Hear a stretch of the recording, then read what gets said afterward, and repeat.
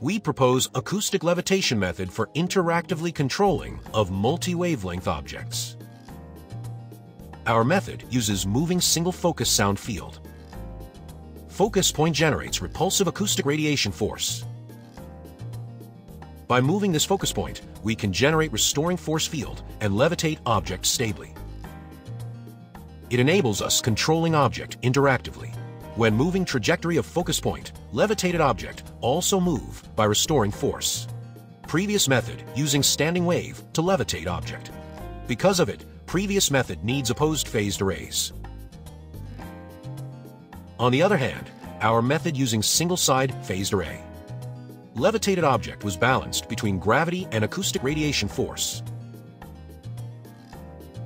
This difference enabled our method to levitate objects larger than 10 times the wavelength.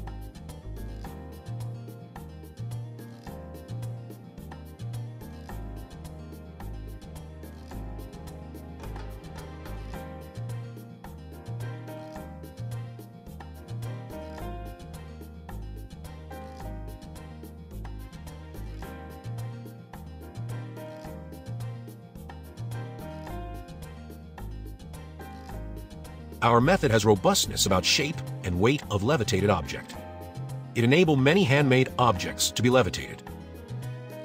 Our method enable us to control levitated object interactively through program.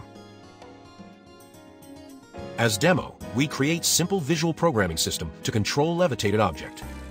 This visual programming system also can receive controller input, so we can easily control object interactively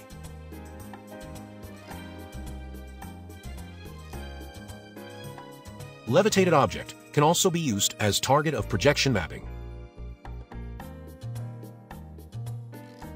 We create visual interface with projector above the levitated object.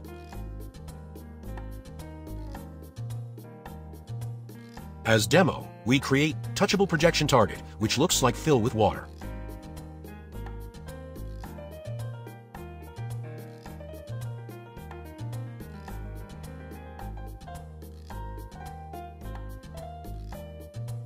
Contents of projection mapping can link with movement of levitated object. By using levitated object as obstacle, we can generate shadow graph without supporting sticks.